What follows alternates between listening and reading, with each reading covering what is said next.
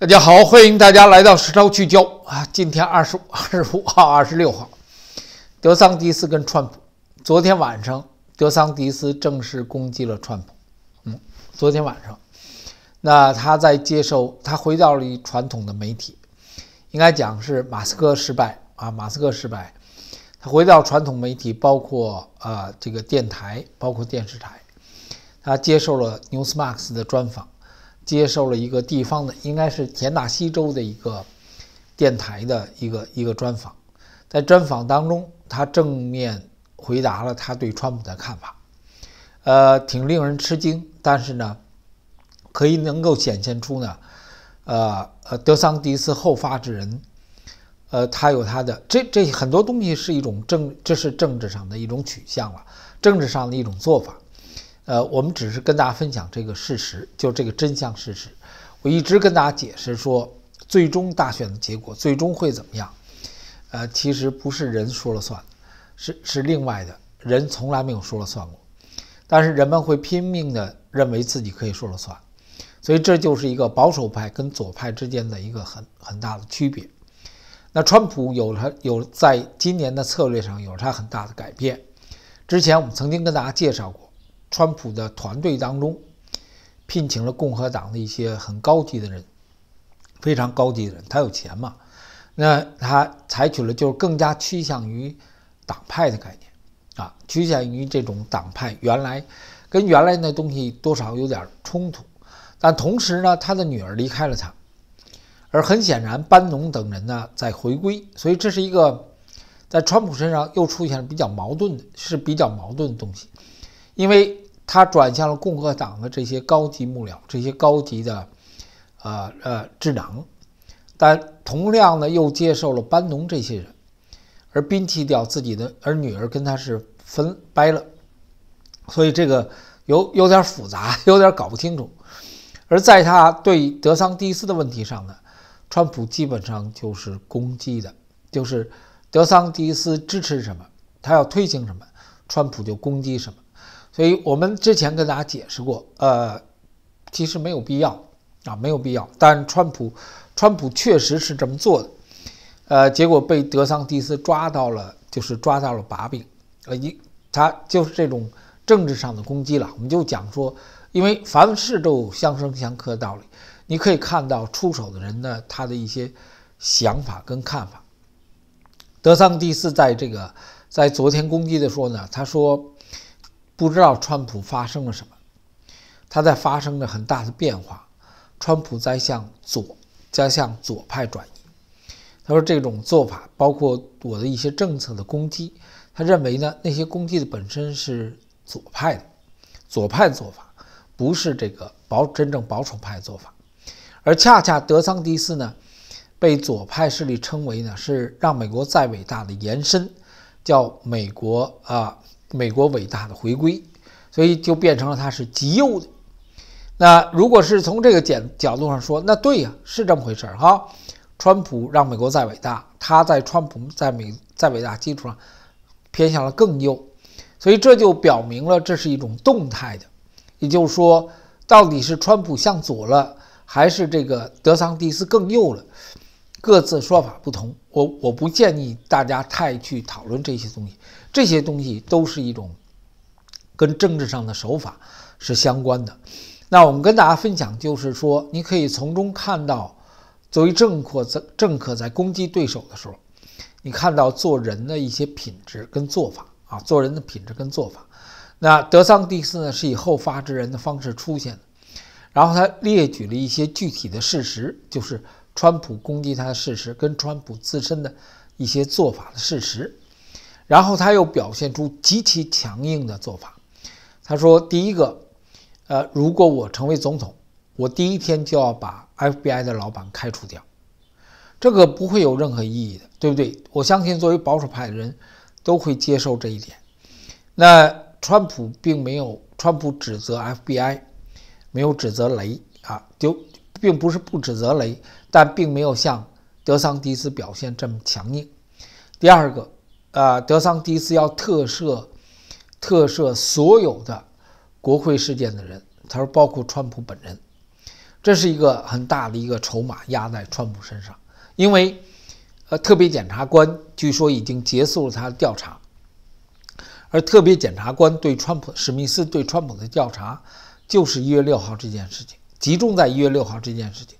另外一个就是海湖庄园的文件的问题，海湖庄园的文件的问题显然就是很难往下走，因为，呃，美国因为美国国家的美国国家档案馆。在上个星期发出的消息说，自里根之后，美国历届总统自里根之后，美国历届总统都把相应的一些机机密文件带回家了。他们在处理这些事情的时候都不够严谨。那那如果如果作为档案馆这么讲的话，就等于是给川普这个罪名开罪，其实就是就这么回事儿，对吧？那这那也就说，所谓机密档案的问题根本就没办法。就是所有人都有，都是这问题，那就变成了今天的 FBI 跟 CIA 的指，FBI 跟这个司法部的指责是罪恶的，是故意去去阻碍川普选举的，这是。但是呢，在一月六号这个这件事情，它是一个特例的，它是不一样。那在此之前已经判了几百人罪名罪行，这是真的。所以这样的话，他可能在那个问题上出现。那是否最终会怎么样？不知道啊。说句心里话，不知道。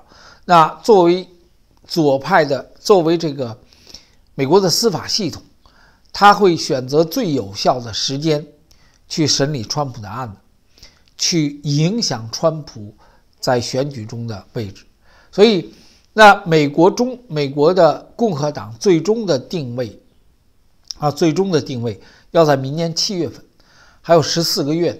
所以也就是说，在明年七月份之前，川普的案子会就是如果如果左派想真正打击川普的话，一定是在共和党共和党在推出选举人之前，司法上要有动作。所以这些都是干预选举，但是呢，他不绝对不承认的。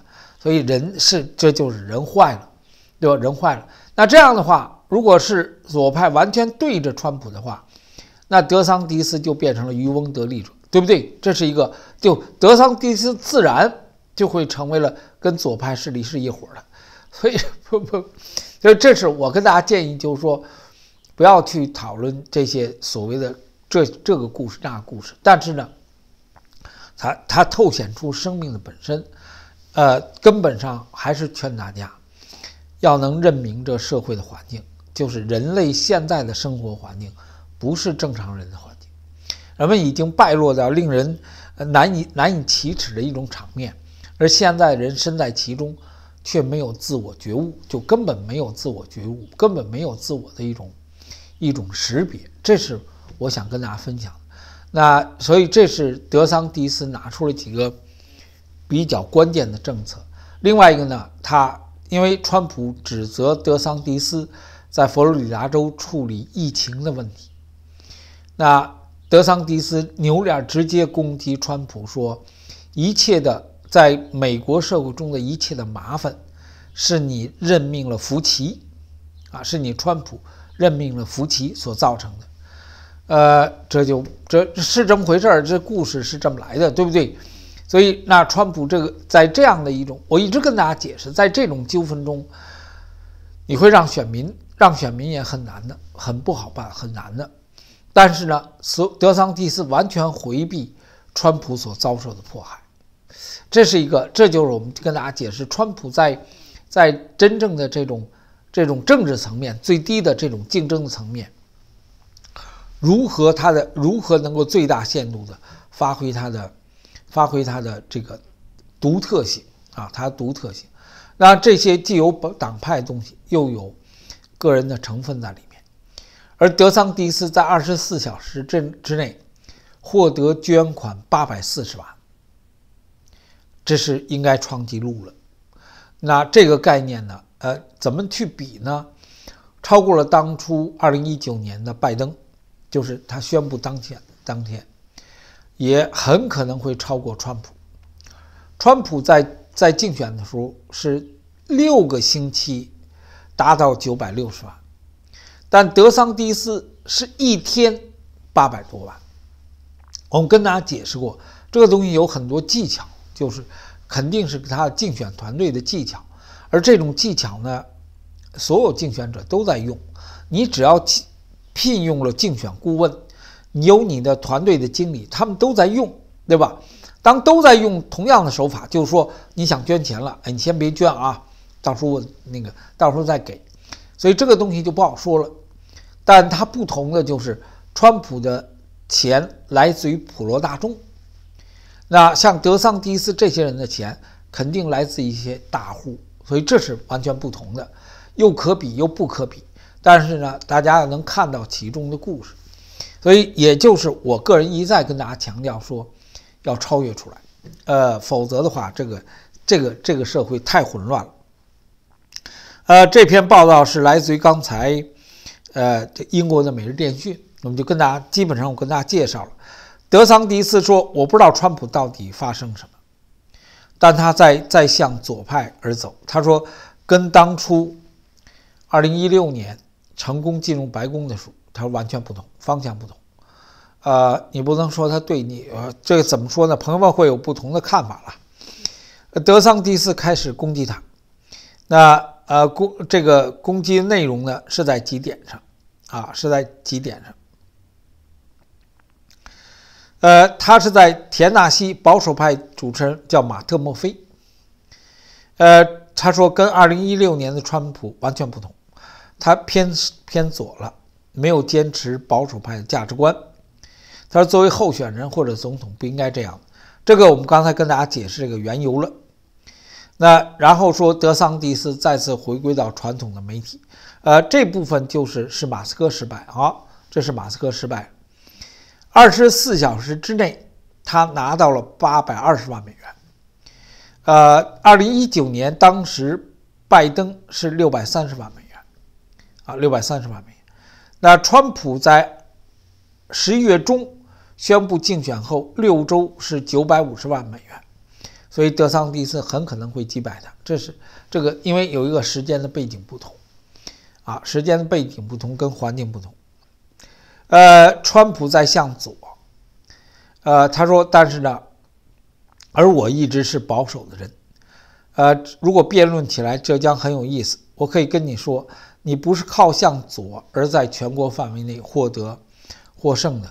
你靠的是大坚持大胆的政策，在全国范围内获胜。在佛罗里达州，我做到了。呃，我们就不知道川普怎么应对，就川普肯定会应对的，对吧？那这种场面呢，肯定要开辩论会的。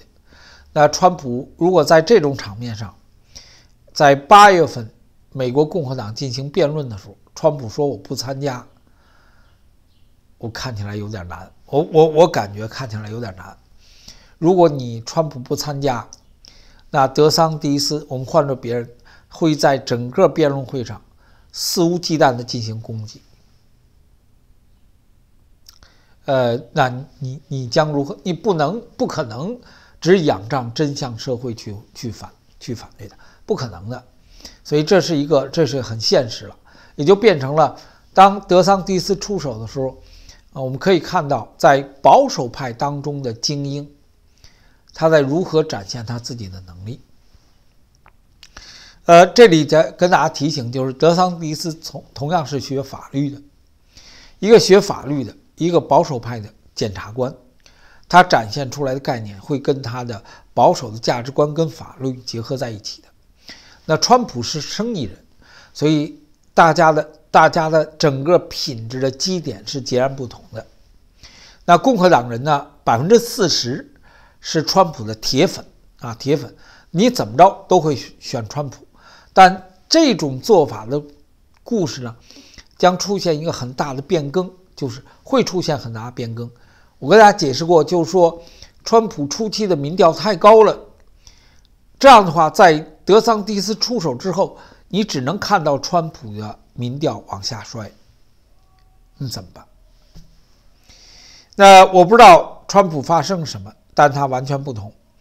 然后说呢，川普早期的政策，数百万美国人，呃，是因为在二零二零年三月份将国家交给了福奇，所以福奇是罪恶的。你怎么去攻击？你你怎么川普怎么辩护？我们并不清楚，但这是事实啊！这真的是是不好办。我跟你说，真的不好办。来，然后他又上了福克斯新闻，他说：首先要解雇雷，FBI 的老板雷，所以雷也是川普任命的。是啊，所以他他是这么来的。这个作为一个政治的竞争者，他是这么来的。然后昨天晚上在在这个在这个 Newsmax 就谈到了移民问题，呃，他提到说他 对不起，他说他攻击我的内容，我感觉很困惑，因为呢，呃，用了左派的说法，他很强硬，所有问题上都很强硬，呃，他说但是呢，有些内容应该是对的，就是说很简单的，为什么我说的东西他都去攻击？说这是一个很奇怪的事情，呃，他反打击我反对投票反对移民大赦。他说，二零一八年当时就有过类似的东西，就跟像建墙一样。所以德桑迪斯是反对对移民进行大赦的，那川普呢又反对了德桑迪斯的说法。所以在这个在这个故事上，我们之前跟大家解释过，川普不要。凡德桑，凡是德桑迪斯的，全都反对，不要那么太紧，留下空间。有人说，可能说涛哥，你你你也太狡猾了。OK，呃，如果你那么认为，我也不反对。但是呢，呃，it's too tight，给人感觉就是太小气了，太过分，太小气了。因为过分小气，相生相克的道理会把自己捆绑的，这就是。这就是德桑迪斯在攻击他，呃呃，有一个概念啊，呃，支持川普的人不会因为德桑迪斯这样的说法而放弃川普，这是基本上大家是一个共识。但是，对于独立选民，对于其他的人，将会出现全新的看法，它是很自然的，因为政策的辩论跟所作所为的做法，就是德桑蒂斯后发制人。川普已经和盘端出了，而且持续了，呃，将近六个月。你已经没有新的东西了。那德桑蒂斯是在你的在川普的所有竞选的问题上跟所作所为上去打击川普，所以这是靠选民喽。这这大家知道要靠选民喽。呃，所以他就讲说很奇怪，他认为呢。川普，川普个人在改变，呃，然后他他认为，川普第一个呃，在佛罗里达州提出这样的理由的时候，他说他将更好的兑现川普曾经承诺而没有兑现的承诺，所以他意思就是说川普在改变，呃，在财政上，在很多财政问题上离开了，在文化上他留在，他说他站在迪士尼一边反对我，迪士尼呢是。迪士尼呢是这个是左派的，这是肯定是左派的。那下面就介绍了德桑迪斯个人的问题，呃，这就没什么了。然后就谈到大赦，他说如果他被控有罪，我将特赦川普，考虑赦免他。他其实是指赦免所有的人。呃，他说他说这一点呢，所有人都会看到。呃，因为这件事情作为国会这件事情，他的态度很坚持，很坚持。德桑蒂斯许诺过要特赦所有，呃，所以我我个人还是这话哈。我们现在看到这故事，大家要从真正的这种纷乱的环境中要能解脱出来。感谢朋友们的支持。这就是昨天后来有人就提出来了，有不同版本的。他主要是讲述了当时马斯克在接受 BBC 采访的时候，呃，是一样的。是 BBC 跟马斯克进行在线采访，他是用推特的账号作为主持人，所以当时在线是三百万啊，你可以看到这个这个数字是三百万，呃，当时的在线数字是三百万，在这个空间里头，所以这就是一个疑，这是个疑问了，因为有人不不同人都有不同讨论了，这是另外一个账号，那这个账号里显示出来是三百三十万。所以它它的排序内容是一样的，也是就像大家看到这样的排序。那靠前面的人确实都是比较 Twitter 比较大的账号。那问题就来了，他跟 BBC 做同样类似专访的时候，为什么可以接受三百三十万？但他自己跟德桑蒂斯进行对话的时候，怎么只有七十万？那就真是那句话，是德桑蒂斯把 Twitter 干掉了，把把马斯克 Twitter 干掉了。马斯克在技术上应该他找不着答案，所以我我我就跟大家解释，这是有着某种很特别的背景。大家你如果朋友你不相信呢？你可以在这个 Twitter 上，你你打进用英文啊，中文没有用的马斯克 BBC，你就会看到当时的场面。所以朋友们，你可以去，我们就探索真相了。有了真相事实之后，我们想知道他为什么。那这种情奇怪的状况，没有人去解释，没有，马斯克也没有解释为什么。所以我相信马斯克不知道为什么。那不知道为什么，就是真正的为什么。啊，我愿意把它理解成是神迹。我上期节目中讲了，有些神迹的展现是不能令人解释的，而它故事的出现呢，就是对现在的高科技的一种嘲讽，啊，一种天意对高科技的嘲讽。所以这份嘲讽，既可以说是德桑蒂斯带来的，也可以说是对马斯克的嘲讽，就是有着某种超能力。已经在我们现实的环境中展现它的力量，人们肉眼看不到，但客观发生了。在公众的背景之下，在大家验证的背景之下那谁能在其中有所醒悟取决于个人的悟性而不是其他。那好这期节目就到这里谢谢大家再见。